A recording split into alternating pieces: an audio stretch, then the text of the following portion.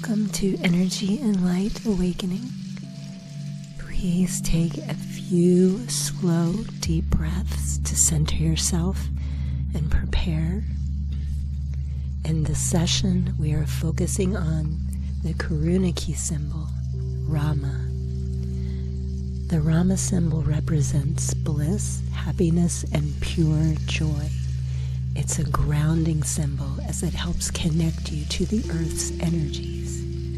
Rama means Lord Rama or God and represents the bonding between female and masculine energies, which are representative of the two right flicks on both sides of the symbol. This symbol should be visualized in gold or purple colors. It's best used to cleanse all six of your chakras, especially your lower ones.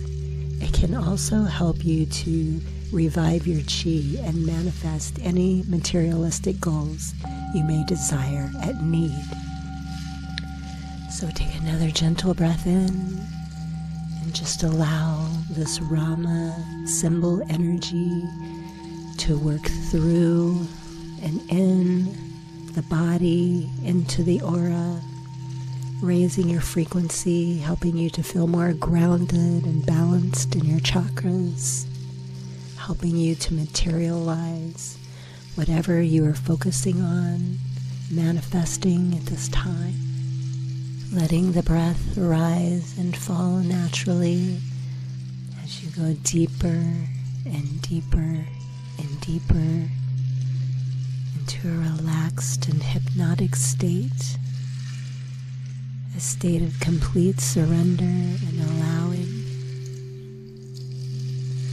as this divine, ancient, sacred energy flows to you